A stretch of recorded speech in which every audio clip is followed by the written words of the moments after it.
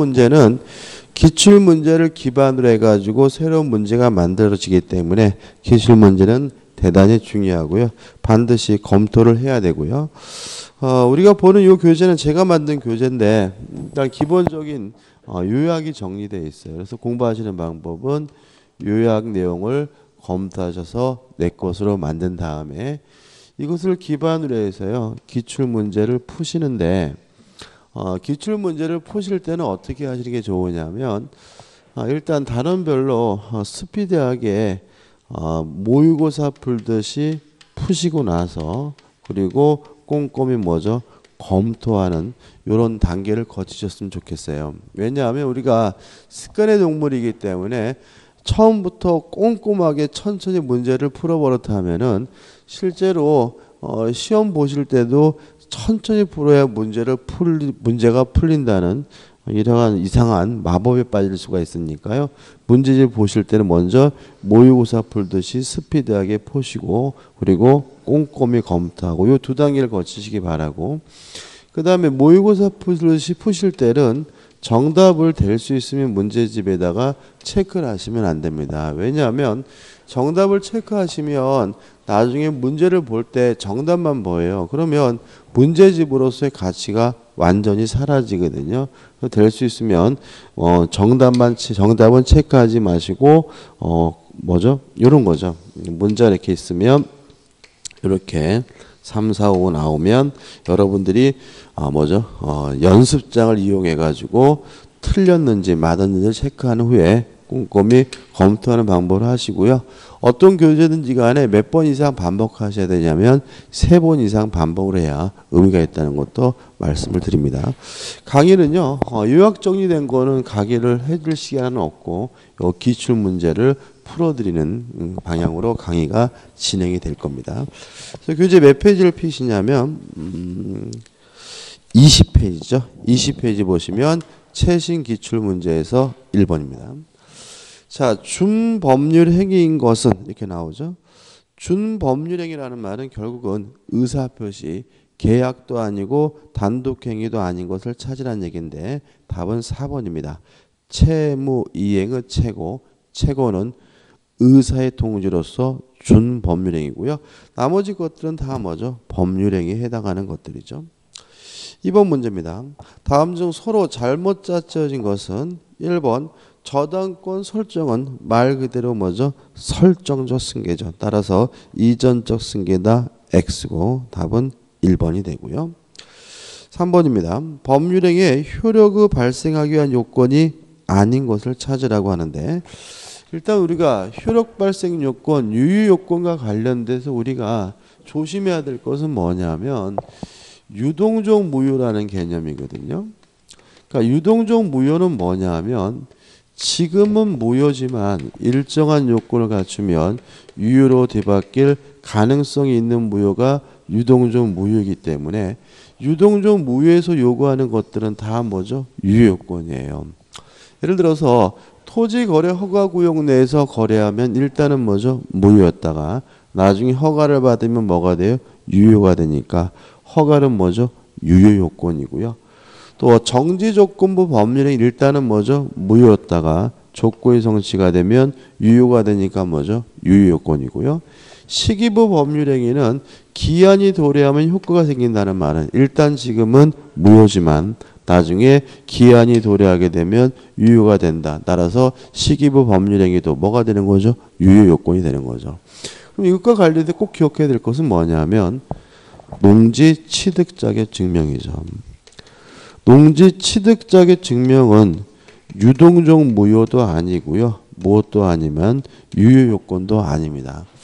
왜냐하면 농지를 취득하려면 어, 농 농경작자다라는 것을 입증하기 위해서 농지 취득 자격 증명이 필요한데 농지 취득 자격 증명이 없으면 자기 앞으로 뭐 하지 못할 뿐이에요. 등기를 못할 뿐이지 그 매매 자체가 뭐인 것은 아니냐면 무효인 것은 아니에요. 다시 말하면 농지 취득 자격 증명이 없더라도 매매 계약은 뭐죠? 유효하지만 자기 앞으로 뭐만 못할 뿐이죠. 등기만 못할 뿐이니까 요거는 유동적 무효도 아니고 유효권도 아니기 때문에 답은 뭐죠? 3번이 되는 거죠. 4번 법률행위의 종류에 관한 연결이 틀린 것은 2번을 보시면 계약의 해제는 승낙을 받지 않고 일방적으로 하는 것이니까 단독행위지만 어, 상대방에게 해제하겠다는 의사 표시는 해야 되므로 상대방 있는 단독행위이기 때문에 2번이 뭐죠? X가 되는 거죠. 그 다음에 5번입니다. 다음 중 의무 부담 행위가 아닌 것은 나와 있는데 이게 무슨 말이냐면 채권행위라는 것은 뭐냐면 채권을 발생시키는 법률 행위를 우리가 채권 행위라고 하거든요. 음, 그러면 채권이 발생한다는 말은 상대방에게는 뭐가 발생한다는 얘기냐면 의무, 채무가 발생한다는 얘기니까 요 채권 행위를 다른 말로는 뭐라 그러냐면 의무 부담 행위라고 합니다. 그럼 생각을 해보자고요. 을이 갑에게 1억을 빌려주면 을에게는 뭐가 생겨요? 채권이 생기니까 을의 입장에서는 돈을 빌려주는 것은 뭐죠? 채권행위고요. 갑의 입장에서는 1억을 갚아야 할 뭐가 생겨요? 채무가 생기니까 갑의 입장에서 뭐가 되는 거죠? 의무 부담 행위가 되는 거죠. 따라서 1번 교환 계약이나 2번 임대차나 3번 재매매 예약이나 4번 주택 분양 계약은 다 무엇을 발생시킵니까? 채권을 발생시키니까 뭐가 되는 거죠? 채권행위고 의무부담행인 거죠. 근데 5번 채권의 양도가 나옵니다. 자 이런 얘기입니다. 을이 1억을 빌려줘서 채권이 생겼는데 이것을 병에게 양도를 했다면 새롭게 채권이 발생한 것이 아니라 채권이 을에게 병에게 을에서 병으로 넘어갔죠. 이런 거 우리가 뭐라 그러냐면 준물권행위라고 합니다. 준물권 행위 뭐죠? 물권 이해의 권리가 변동되는 행위가 준물권 행위고 따라서 답은 뭐죠? 5번이 되는 거죠. 따라서 처분 행위 중에서 준물권 행위가 됩니다. 6번입니다. 다음 중 무효가 아닌 것을 찾네요. 아, 일단 1번 통정어휘 표시는 무효죠. 그 다음에 3번 관할 관청이 허가 없이 한 학교 법인의 기본 재산의 처분. 자 이런 얘기입니다.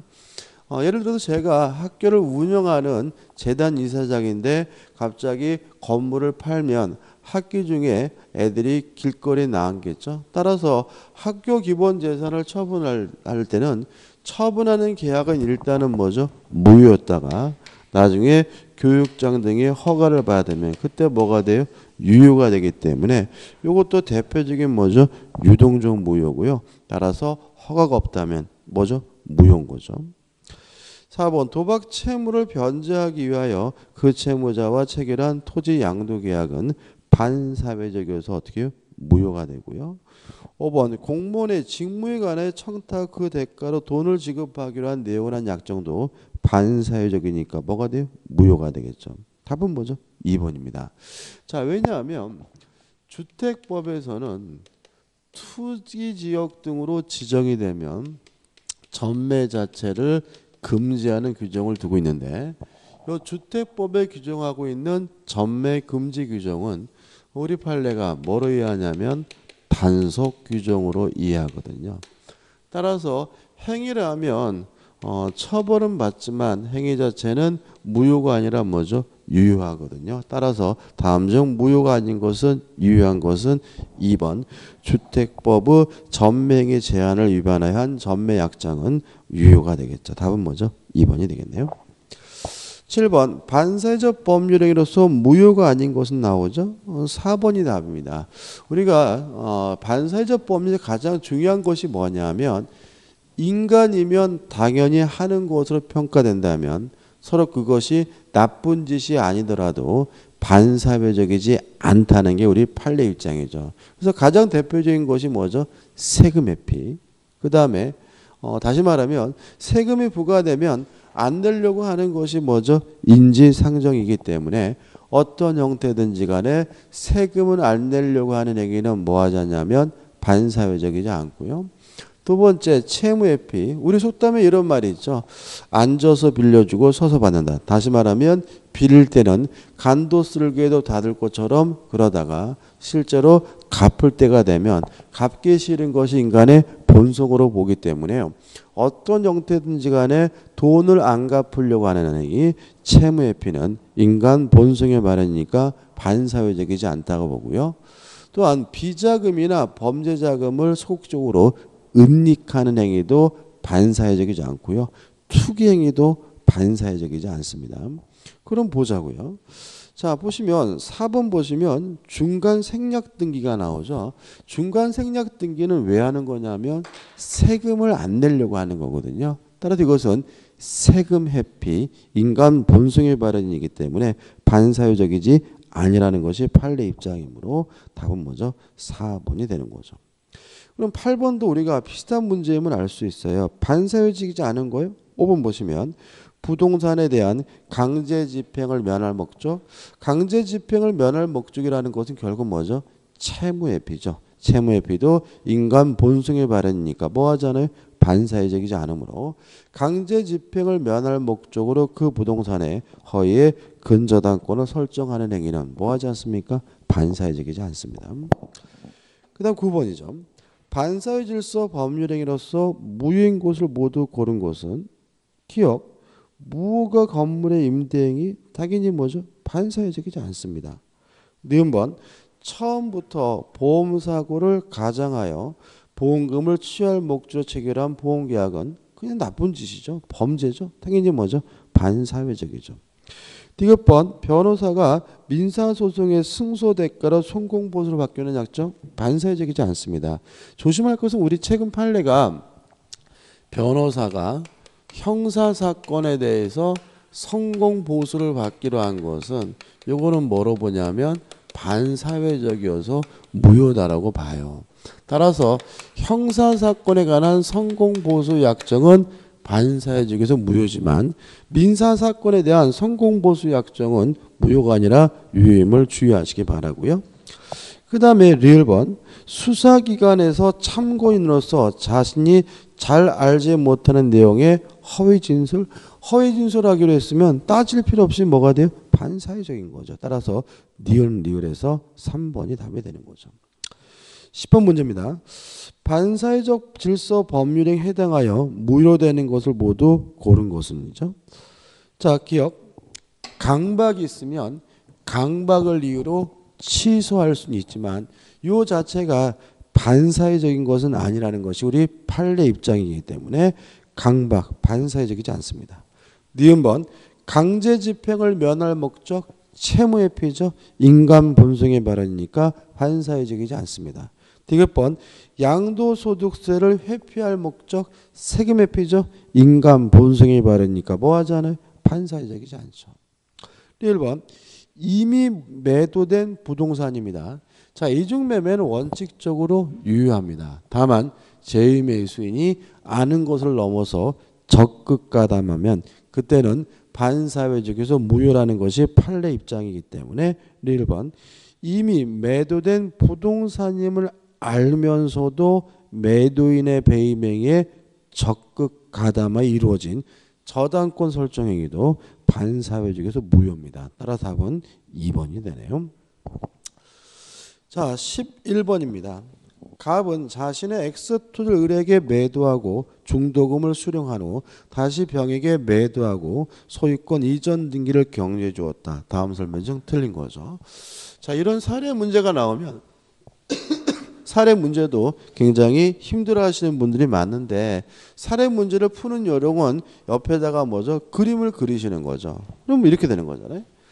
갑이 을과 만나 가지고 매매 계약을 하고 을이 갑에게 중도금을 줬는데 갑이 또다시 병과 만나서 매매 계약을 하고요. 음, 갑이 병에게 뭐까지 줬죠? 이전 등기까지 줬다. 이 정도는 여러분들이 옆에다가 메모를 하셔야 되고요. 아, 요거는 우리가 뭐임을 알 수 있죠? 이중 매매임을 알 수 있죠. 자, 이중 매매는 원칙적으로 유효합니다. 따라서 둘 중에 병은 먼저 등기한 사람은 선악불문하고 소유권을 갖기 때문에 1번 특별한 사정이 없는 한 병은 X 토지의 소유권을 취득한다. 맞는 질문이죠. 그다음 주의할 시점은 요 갑과 을간의 매매 계약도 유효하거든요. 다만 갑이 병에게 또 팔아먹고 병에게 이전 등기를 줬다면 갑은 을에게 더 이상 등기를 못 해주겠죠. 이행불능입니다. 채무불행입니다. 따라서 2번 특별한 사정이 없는 한 을은 최고 없이도 갑과의 계약을 해지할 수 있다. 맞는 지문이 되겠죠. 근데 만약에 병이 단순히 아는 것을 넘어서 갑의 이러한 배신행위에 적극 가담하면 이제는 갑과 병 간의 매매는 반사적에서 무효고요. 매매가 무효면 무엇도 무효? 등기도 무효죠. 그러면 을은 이제는 병의 등기에 대해서 말소해 달라고 청구할 수 있는데 조심할 것은 을은 갑과 매매 계약을 해서 이전 등기해 달라고 요구할 수 있는 뭐만 있는 상태요? 채권만 있는 상태이니까 직접 이전 등기나 말소해 달라고 요구할 수는 없고요. 갑을 대의해서 말소해 달라고 요구해야 되므로 3번 병이 갑의 을에 대한 배임행에 적극 가담한 경우 을은 병을 상대로 직접 등기의 말소를 청구할 수 없다. 오 맞는 점이 되겠죠. 그 다음에 적극 가담에서 매매가 무효고 등기가 무효예요. 근데 병이 또다시 정에게 팔아먹고 정에게 이전 등기를 해줬다면 이 정은 선이라 하더라도 뭘 가질 수 없어요? 소유권을 가질 수는 없습니다. 왜냐하면 반사회적 범위 무효는 절대적 무효이기 때문에 제3자는 선이라 하더라도 뭐 받지 못해요? 보호받지 못하죠.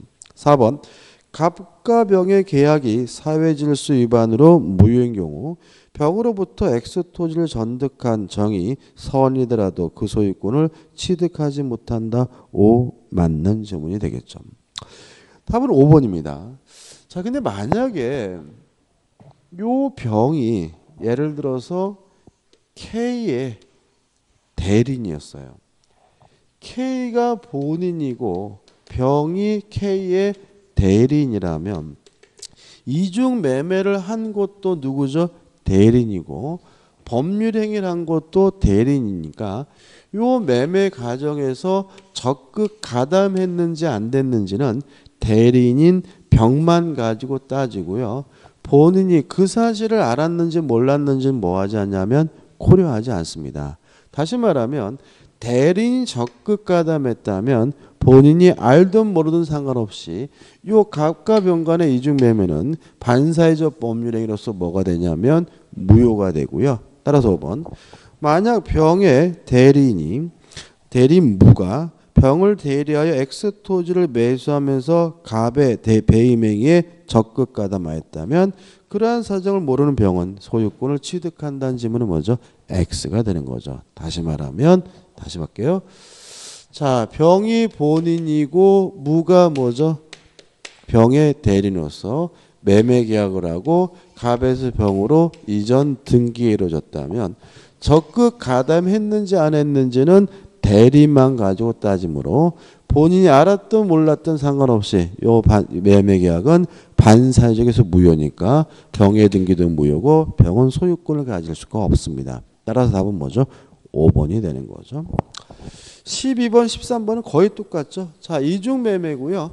병이 뭐 했습니까? 적극 가담했습니다. 그러면 반사회적 법률에서 뭐가 돼요? 무효가 되겠죠. 그러면 음, 12번 틀린 것을 찾는데 어, 4번을 보시면 병으로부터 그 부동산을 전득한 정이 선이면 소유권을 취득한다. X. 반사회적 범위 무효는 절대적 무효이므로 정은 선이라 하더라도 뭘 갖지 못해요? 소유권을 갖지 못하겠죠. 13번도 마찬가지죠. 틀린 것을 찾는데 5번을 보시면 만약 선의 정이 X 부동산을 병으로부터 매수하여 이전 등기를 받은 경우 정은 갑과 병의 매매 계약 유효를 주장할 수 있다. X입니다. 다시 말하면 정은 선이라 하더라도 뭐 갖지 못합니까? 소유권을 갖지 못하죠. 보시면 이 최근에 이중 매매가 세 번이나 나왔죠. 25회, 26회, 28회. 그러면 올해가 30회인데 올해도 뭐죠? 나올 가능성 많고요. 어차피 비슷한 유형이니까 요 세 문제 가지고 확실하게 정리하시면 되겠죠. 14번입니다. 불공정한 법률행위에 관한 설명으로 틀린 것은 1번 공방이란 어려운 사정을 말하고요.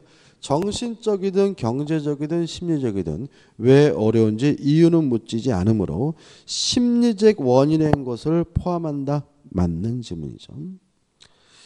2번 불공정한 법률행위는 폭리, 현저한 불균형이 있는 법률행위가 무효라는 거거든요.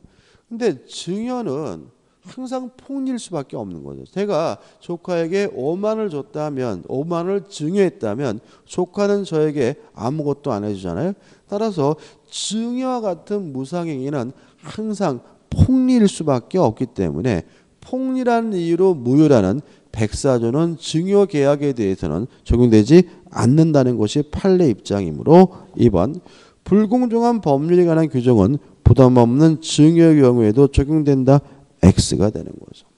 3번 주열점이죠. 불공정한 법률행위도 반사회적 법률의 한 가지 예입니다. 따라서 추인할 수는 없는데 다만 우리 판례는 무효행위 전환은 인정된다는 것이 판례 입장이니까 유의하시기 바라고요. 4번 만약 이러한 불공정한 법률행위가 대리인을 통해서 이루어졌다면 궁박 어려운 사정은 본인을 기준으로 하지만 경솔했다 경험이 없다 무경험은 대리인을 기준으로 판단하므로 4번은 뭐죠? 맞는 지문이고요.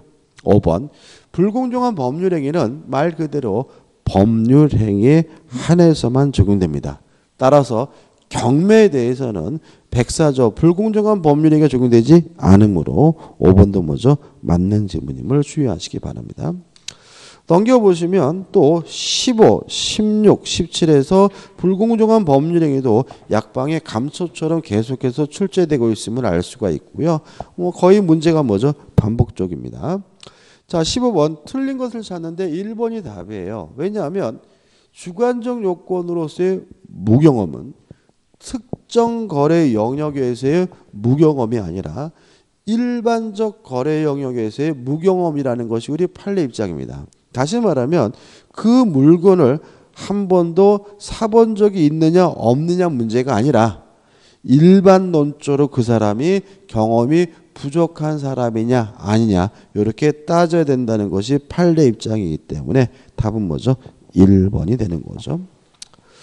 16번입니다. 이것도 틀린 것을 찾네요. 4번 보시면 대리를 통해서 불공정한 법률행위가 이루어졌다면 어려운 사정, 궁박은 본인을 기준으로 하기 때문에 궁박 상태는 대리인을 기준으로 판단해야 한다.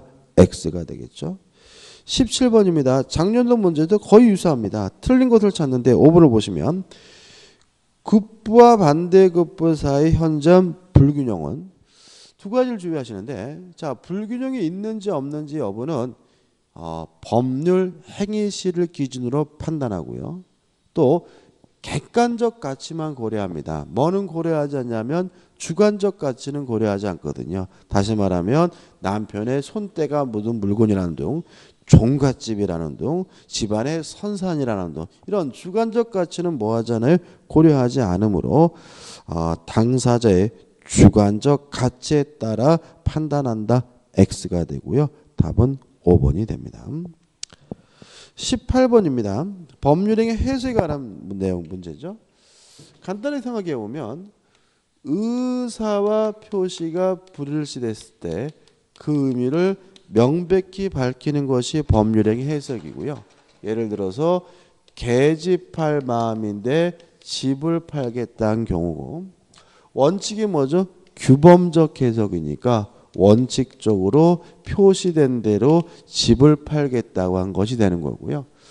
예외적으로 자연적 해석이니까 자연적 해석을 하면 속마음대로 개집을 팔겠다고 한 것이 되는 건데 언제 자연적 해석을 하냐면 첫째 상대방 없는 의사 표시는 자연적 해석을 하고요. 두 번째 상대방이 있더라도 보호할 필요가 없을 때 알았거나 또는 알 수가 있었을 때는 뭐죠? 자연적 해석을 합니다. 그 다음 주의하실 것은 원칙에 따라서 규범적 해석을 하는 경우에만 착오 문제가 발생하고요. 착오를 이유로 취소할 수 있고요. 만약에 상대방이 알았거나 알 수 있었다는 이유로 자연적 해석을 하는 경우에는 착오를 이유로 뭐 할 수 없어요? 취소할 수 없다. 착오 문제가 발생하지 않는다는 거 주의하셔야 됩니다. 그러면 18번을 보죠.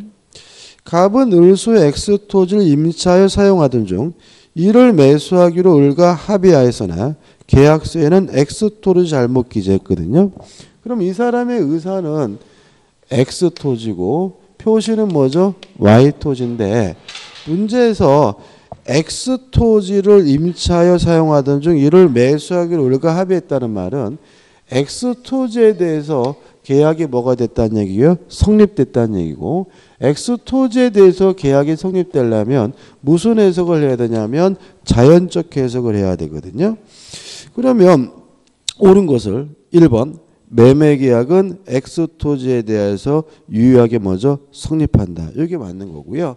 2번 Y 토지에 대해서는 계약이 뭐 되지 않은 거예요? 성립되지 않은 거고 X 토지에 대해서 계약이 성립됐다는 말은 자연적 해석이니까 착오를 이유로 뭐 할 수 없어요? 취소할 수 없으니까 3번, 4번도 틀렸고요. 물론 뭐죠? 5번도 X입니다. 28페이지입니다. 28페이지. 28페이지 보시면 이제 뭐가 나오냐면 19번 문제가 나오죠. 우리 기본서에도 있는 문제죠.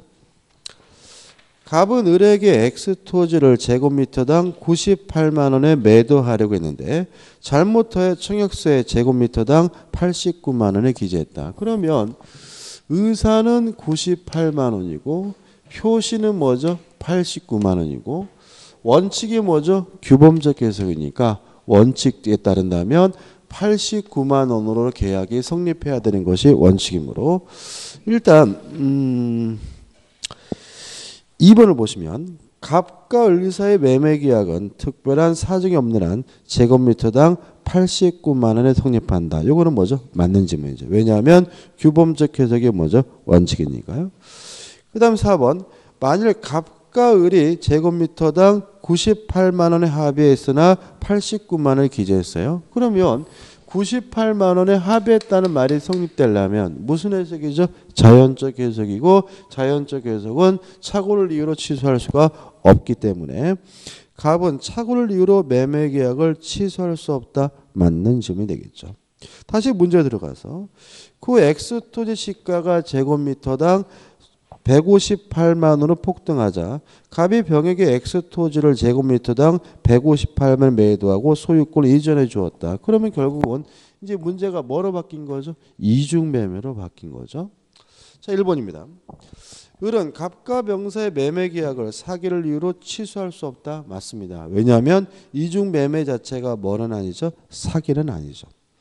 3번 을은 병 명의로 이루어진 소유권 이전 등기의 말소를 청구할 수 없다. 맞습니다. 이중매매는 원칙적으로 유효하므로 병은 선악불문하고 뭘 가져요? 소유권을 가지니까요.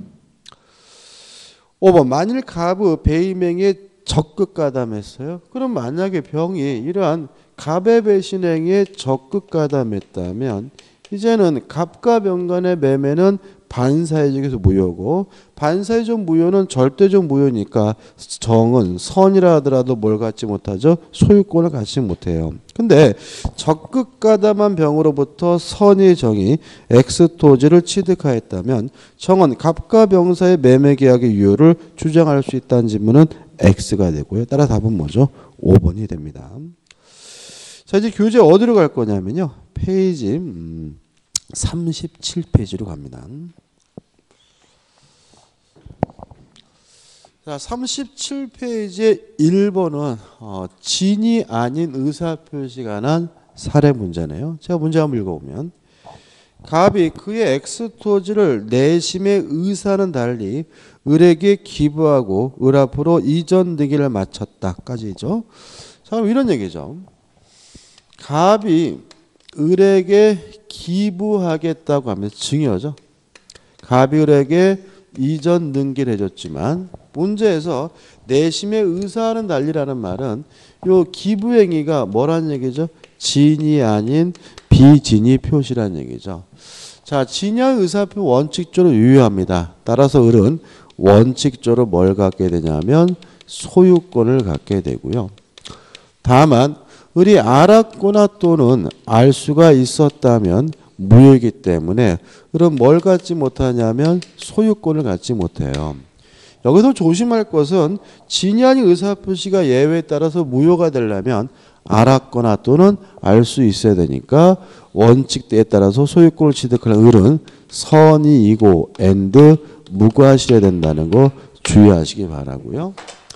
근데 을이 자기 앞에 등기된 것을 기화로 또다시 병에게 팔아먹고 병에게 이전 등기를 해주면 이 병을 우리가 제3자라고 하는데 이 제3자는 선이면 확정적으로 뭘 갖습니까? 소유권을 갖겠죠. 왜냐하면 아닌 의사표시가 서로 무효라 하더라도 그 무효를 가지고 선의 제3자에게 대항할 수가 없기 때문에 그렇죠. 따라서 1번 갑의 의사표시는 무효이므로 X입니다. 왜냐하면 진이 아닌 의사표시는 원칙이 뭐죠? 유효합니다. 2번 갑의 의사표시는 단독행위로 X입니다. 기분은 일반적으로 증여예요. 증여. 증여는 뭐죠? 계약이죠. 계약. 또 서로 단독행위라 하더라도 어, 무효일 수는 없는 거죠. 아, 아 단독행위라 하더라도 진양 의사표시라는 규정은 적용되죠. X입니다. 3번 갑의 진위에 대한 을의 악의가 증명되어 X 토지 소유권이 갑에게 회복되면 을은 갑에게 그로 인한 손해배상을 청구할 수 있다. X죠. 뭐 을이 갑에게 손해배상을 청구할 일은 아닌 거죠. 4번 을이 통상의 주의를 기울였어도 갑의 진위를 알 수 있었다면 그러면 을에게 뭐가 있다는 얘기죠? 과실이 있다는 얘기고요. 과실이 있으면 진양 의사 표시는 무효이기 때문에 을은 X 토지 소유권을 취득할 수 없다. 맞죠? 답은 뭐죠? 4번이네요. 5번 을로부터 X 토지를 매수하여 이전 등을 격려한 병이 갑의 진위를 몰랐더라도 X 토지 소유권 여전히 갑에게 있다. X입니다. 병이 만약에 선이라면 확정적으로 항상 뭘 갖게 돼요? 소유권을 갖게 되겠죠. 2번입니다. 비진입 표시에 관한 설명으로 틀린 것에서 1번 대출 절차상 편의를 위하여 명의를 빌려준 자 이렇게 나오죠. 이걸 우리가 그냥 외워두시는 게 좋은데 다시 말하면 타인의 이름으로 대출을 받는 거죠.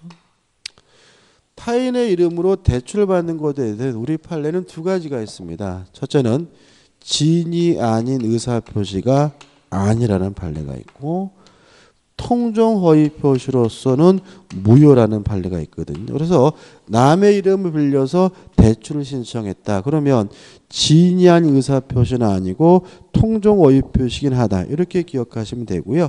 따라서 채무 부담 의사가 가졌더라도 그 의사 표시는 비진이 표시이다 X고요. 답은 뭐죠? 1번이 되는 거죠. 이 두 가지는 꼭 기억해 두셔야 되겠죠.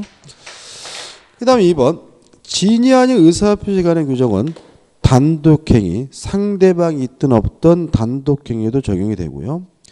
3번 진의 아닌 의사 표시가 원칙에 따라서 유효하려면 상대방은 뭐 해야 되냐면 선의이고 and 무과실여야 되고요. 4번 사직 의사 없는 사기업의 근로자가 사용자의 지시를 받아 어쩔 수 없이 일괄 사직서를 제출했어요. 그러면 어쩔 수 없다라는 말은 사직할 마음이 없이 사직서를 냈다는 얘기니까 진이 아닌 의사표시가 되고요. 5번 진이의 의사표 원칙이 유효합니다. 원칙이 유효하다는 말은 상대방은 선이고 무과실임을 추정받는다는 얘기거든요. 따라서 을 스스로가 자신이 선이고 무과실임을 뭐할 필요 없어요? 입증할 필요가 없는 거고요. 갑이 요 물건을 돌려받으려면 을이 악이거나 과시 있다는 사실을 입증해야 된다는 의미에서 진양 의사표시 원칙이 유효한 것이니까 상대방이 표의자의 진이 아님을 알았다는 것은 악이라는 것은 무효를 주장하는 자 갑이 증명해야 한다 맞는 질문이 되겠죠. 넘겨보시면 이제 3번 문제가 나옵니다. 진이 아닌 의사표시가 난 설명으로 틀린 것은 2번을 보시면 말도 안 되는 질문이죠. 상대방이 표의자의 진이 아님을 알았어요. 상대방이 악이면 진이한 의사표시는 뭐인 거죠? 무효인 것이지 취소할 수 있는 것은 아니기 때문에 답은 뭐죠? 2번이 되는 거죠. 나머지는 보시기 바라고. 그 다음에 4번입니다. 통정어휘 표시죠. 자, 통정어휘 표시에서 이것도 마찬가지고 제3제 개념에 대해서 좀 조심하셔야 되는데 일단 제3자는 누구냐면요. 당사자는 제3자가 아니고요. 상속받은 사람 포괄 승계인도 제3자가 아닙니다. 당사자와 포괄 승계인을 제외한 사람 중에서 새롭게 이해 관계가 있는 사람만이 뭐냐면 제3자가 되거든요. 그럼 보자고요. 4번 허위 표시의 무효로 대항할 수 없는 선의 제3자에 해당되지 않는 자는 2번을 보시면 제3자를 위한 계약의 수익자죠. 제3자가 되려면 새로워야 됩니다. 새롭게 뭘 받아야 돼요? 이해관계를 가야 되는데 제3자를 위한 계약의 수익자는 처음부터 계약에 포함되어 있는 사람이기 때문에 보호의 대상으로서 제3자가 아니기 때문에 답은 뭐죠? 2번인 거죠. 나머지 면들 보시면 다 뭐죠? 가압류라거나 저당권을 설정하거나 가등기라거나 가압류를 다 언제 했냐면 통정 허위 표시 후에 했기 때문에 새로운 사람들로서 다 뭐가 되냐면 제3자가 되는 거죠. 5번 문제입니다. 통정어의 표시 무효는 선의 제3제 대항하지 못한다는 규정에 제3제 해당하는 자를 모두 고른 것은이죠. 기억 통정어의 표시에 의한 채권을 가압류했죠. 언제 가압류했냐면 통정어의 표시 위에 가압류했기 때문에 새롭기 때문에 뭐가 되냐면 제3자가 되고요. 니은 번 통정어의 표시 위에 설정된 전세권에 대해 저당권을 설정받은 사람도 언제 저당권을 설정받았냐면 통정허위 표시 후에 저당권을 설정받았으니까 새로우니까 뭐가 돼요? 제3자가 되겠죠. 답은 뭐죠? 1번입니다. 디귿번 말도 안 되는 거죠. 본인은 제3자가 될 수는 없을 거고요. 그 다음 1번 통정허위 표시에 체결된 제3자를 위한 계약에서 제3자, 제3자를 위한 계약에서 제3자, 수익자는 새롭지 않으므로 이 사람도 뭐가 아닙니까? 제3자가 아닌 거죠. 6번입니다. 갑은 자신의 부동산에 관하여 을과 통정한 허위의 매매 계약에 따라 소유권 이전 등기를 을에게 해주었다. 그 을은 이러한 사정을 모르는 병과 위 부동산에 대한 매매 계약을 체결하고 그에게 소유권 이전 등기를 해 주었다까지죠. 자, 통정어의 표시에 대해서는 두 가지입니다. 지금까지 푼 문제 제3자 개념에 관한 문제가 나오고요. 그 다음에 두 번째는 지금 풀려고 하는 사례 문제가 나오는 거죠. 사례 문제는 고정적이죠. 갑이 을과 만나가지고 하지도 않은 매매를 한 것처럼 가장을 해서 가빌에게 이전 능기를 해줬더니 을이 또다시 병에게 팔아먹고 병에게 뭘 해줬냐면 이전 능기를 해줬다. 이 병을 우리가 뭐라 그러죠? 제3자라고 하는데 물론 이 가장 매매는 통정어의 표시여서 무효고요.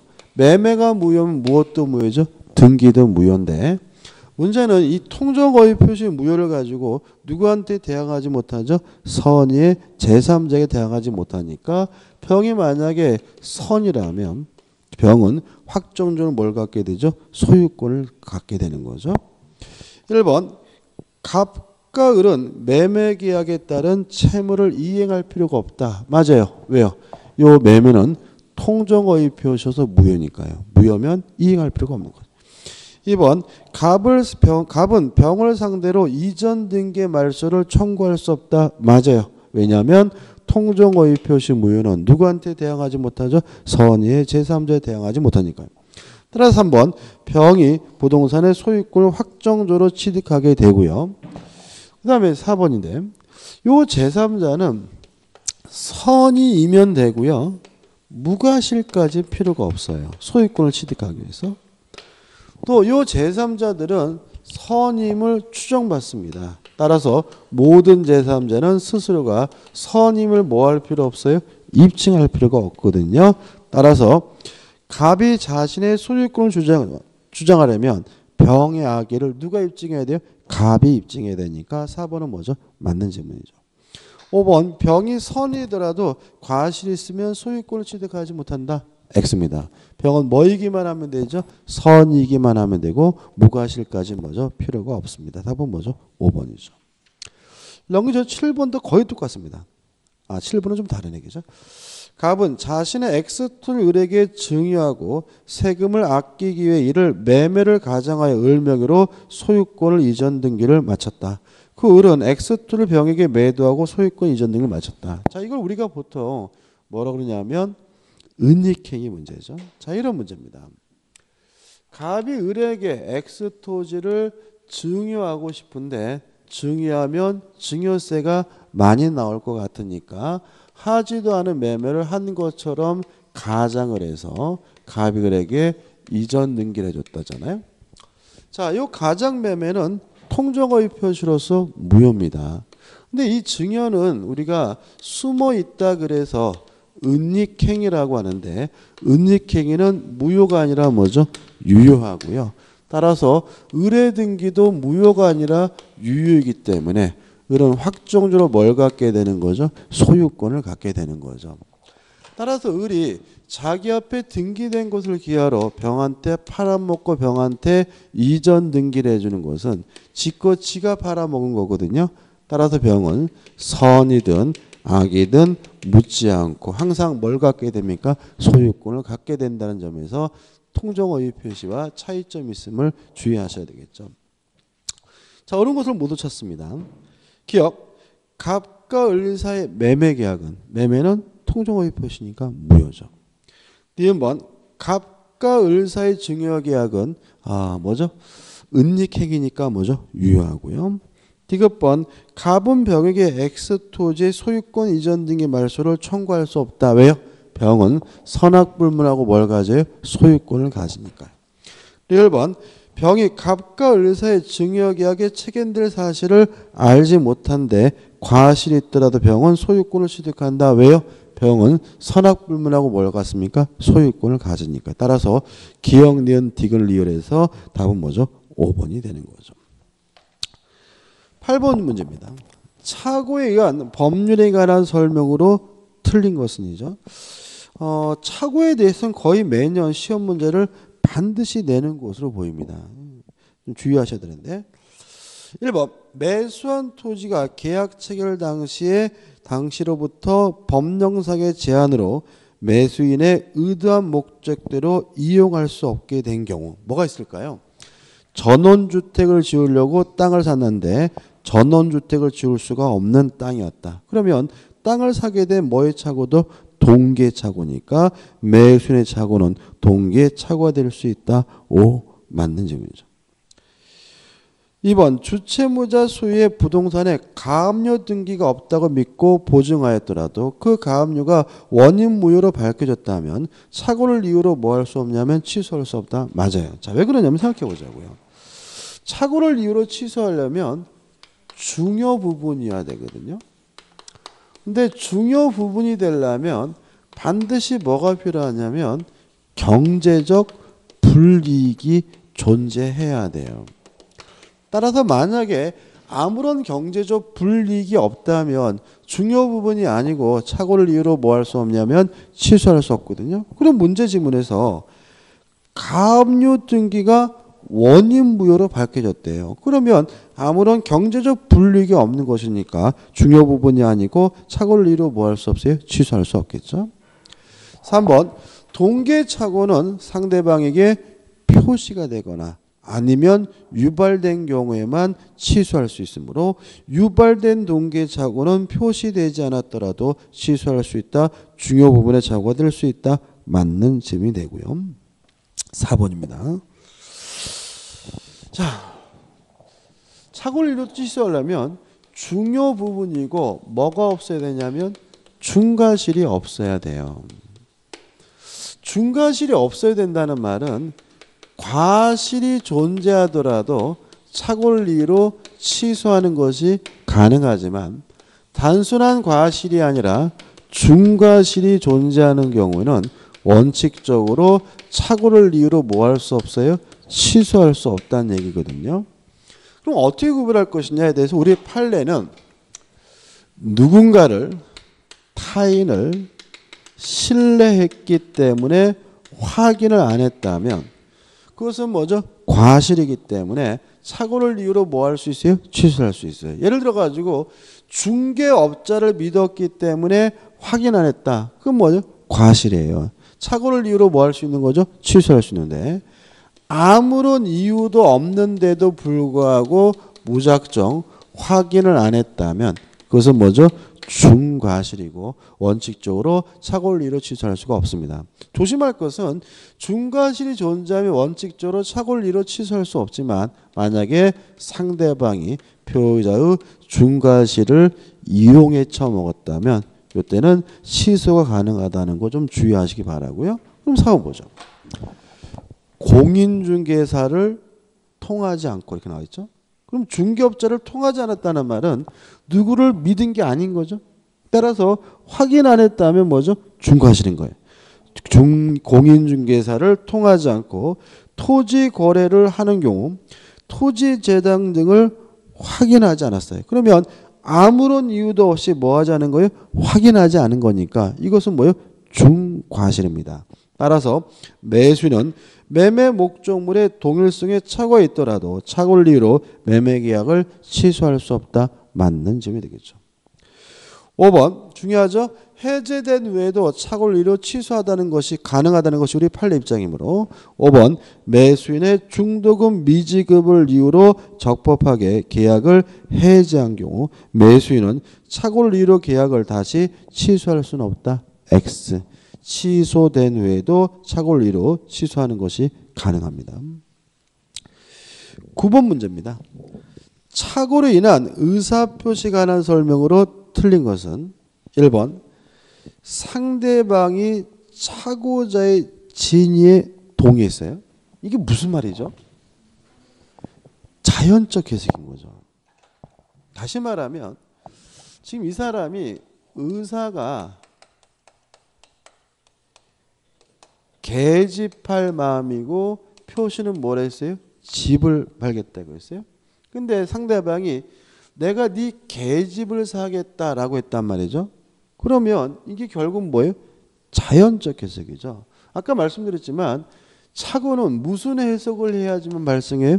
규범적 해석을 해야지 발생합니다.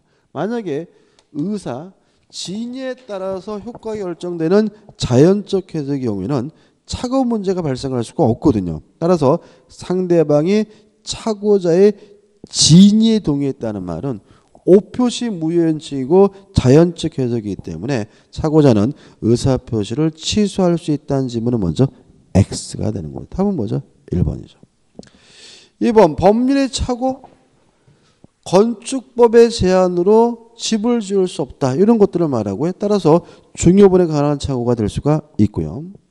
3번 농지 상당 부분이 하천이에요. 자 중요 부분이 되려면 뭐가 있으면 돼요? 경제적 불이익이 있으면 되겠죠.